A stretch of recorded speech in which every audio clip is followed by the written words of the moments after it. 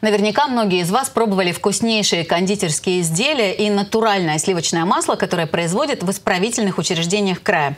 И точно всем известно, что осужденные занимаются деревообработкой.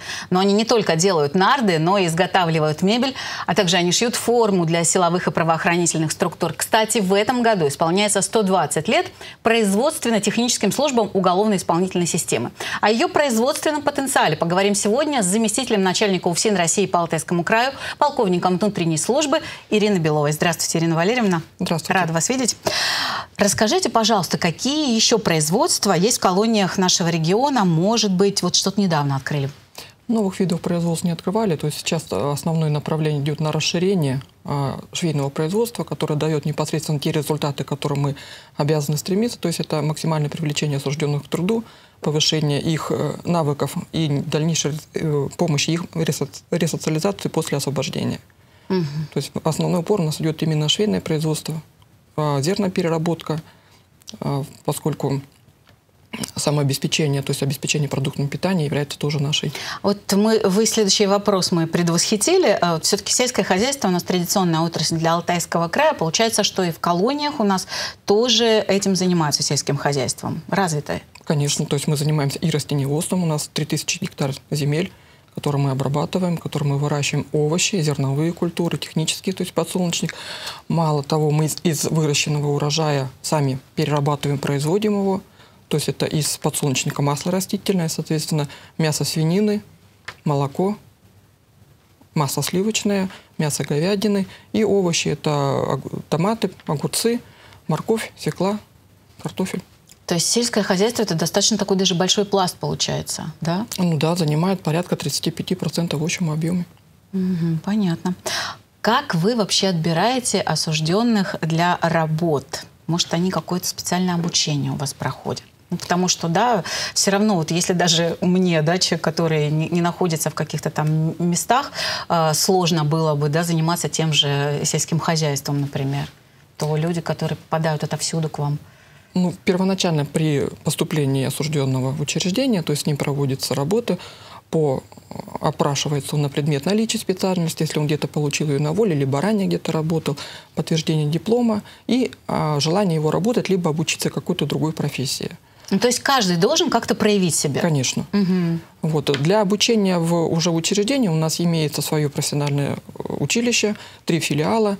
А, в них мы обучаем по 26 профессиям, причем два, две профессии – это среднее профессиональное образование, и 24 профессии – это профессиональное образование, то есть э, а, эти профессии мы подбираем с учетом обязательно потребностей как самого учреждения для того, чтобы осужденные работали в период отбывания срока, и для дальнейшего для э, ориентируемся уже на рынок труда, то есть э, после освобождения, чтобы осужденный эти навыки, полученные в учреждении, мог применить уже на вольных производствах, так скажем. То есть вы не то чтобы отбираете, но практически все проходят переобучение и потом работают, да? Мы обязаны обучить всех, чтобы после освобождения осужденный максимально смог себя а, а, установить, оставить в обществе, не вернуться уже угу. повторно.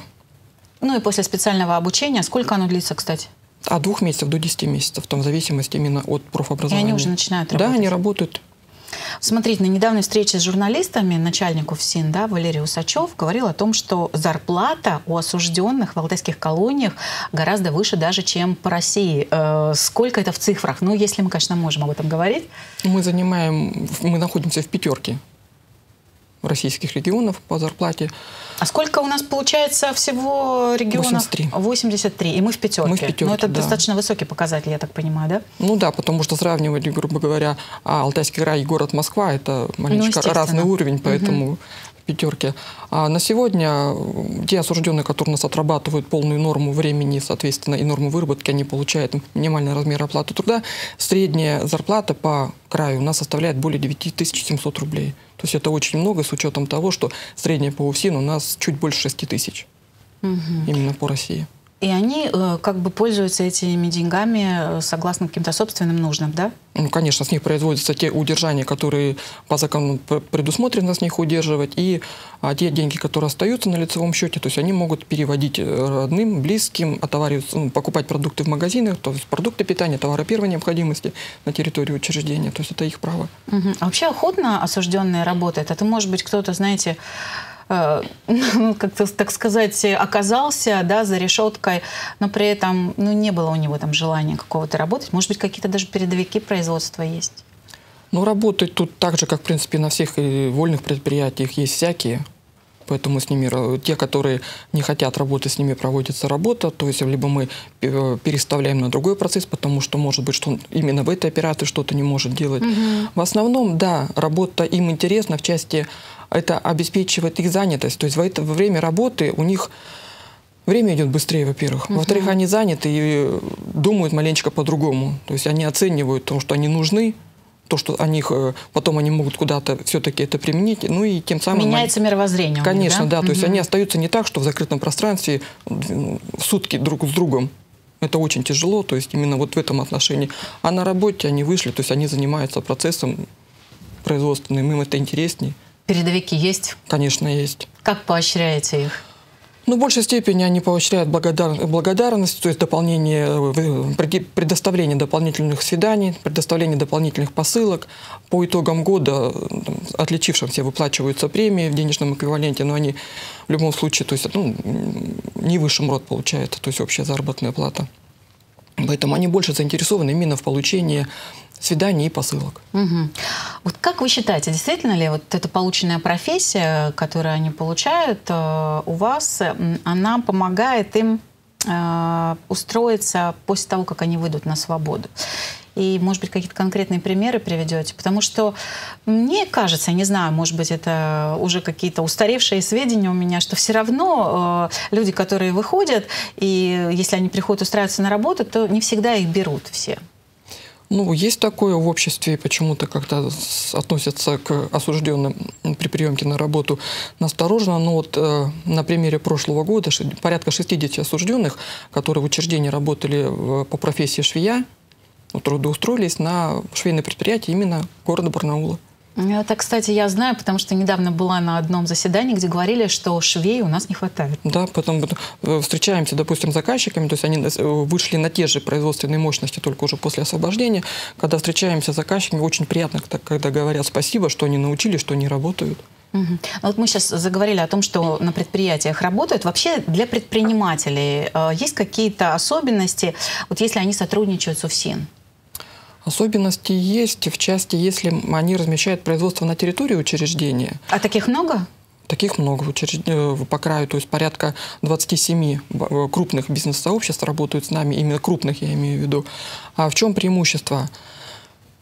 Постоянная рабочая сила, то есть нет так, как на воле получил зарплату, рабочие потерялись. Угу. В этом случае нет. То есть они каждый день, они на работе, они выполняют те производственные функции для получения конечного продукта, как и есть. А что касаемо по оборудованию, то есть у нас как есть как свой потенциал производственных мощностей, так любой заказчик может завести свое необходимое оборудование, если в случае того, что какое-то специфичное оборудование, ну да, вот есть какие-то ограничения, да, по тому, какие виды там можно размещать на свободных рабочих площадях? Конечно. Какие, например? Ну, у нас нельзя производить ту продукцию, которая в принципе запрещена законодательством. Кроме этого, мы не можем производить ликероводочную продукцию, понятно. Ну, это логично, Потому что, да, а, не можем производить продукцию, которая связана, либо как-то может а, повлечь за собой а, колющие, режущие какие-то предметы, то есть это, ну, это запрещенный uh-huh. предмет, то, что мы не можем. Ну, про лекарства я, в принципе, молчу, то есть там уже нельзя этого делать. Вот. Что касаемо химических каких-то особо опасных производств, ну, что вот эти производства мы не, э, не расширяем, не применяем и не, не производим. Угу. Вот как популяризируете свою продукцию, где вообще ее можно приобрести? Ну, потому что я поняла, что чего только вы сейчас не производите. Ну, в смысле не вы, а люди, которые... Э, подопечные. Да, подопечные ваши. В основном популяризация проходит именно участием учреждений в выставочно-ярмарочных мероприятиях.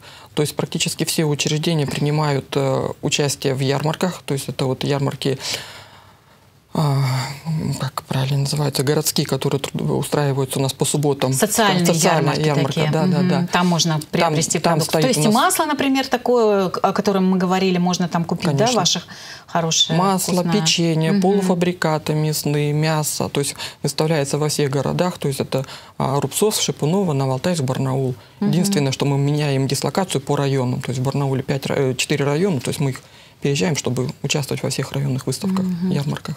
А вот смотрите, э, ну, я уже говорила в подводке о том, что ну, практически все знают, что нарды у нас производят э, в исправительных учреждениях. И, наверное, у многих даже дома были подобные нарды.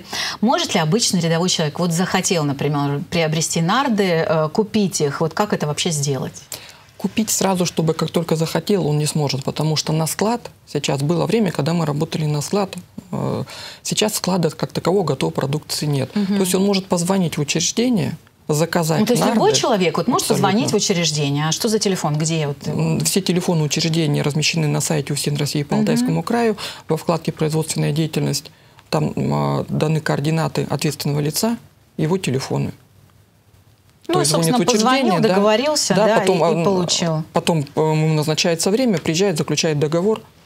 В, договоре устанавливается срок, изготовления продукции. То есть это не только нарт касается, это любая продукция. Угу. И, и приезжай, все. забирай. Да, конечно. Оплачивай, забираешь. Наверняка вы уже подводили итоги прошедшего года. И э, сколько ваш производственный сектор э, исполнительной системы э, заработал в 2021 году? И куда вообще эти средства идут? Ну, то есть я понимаю, люди зарабатывают себе, но вы тоже же зарабатываете куда и как это все? Ну, в общем, объем производственной деятельности у нас составил пока по итогам 2021 года 456 миллионов рублей. А, прибыли чисто мы получили порядка 43 миллионов. А, планируем в 2022 году, то есть а, порядка 20 миллионов направить на развитие производственной деятельности, то есть это обновление станочного парка, а, проведение ремонтов цехов, ну, то есть для того, чтобы привести в соответствие, то есть ну, требуются в любом случае ремонты.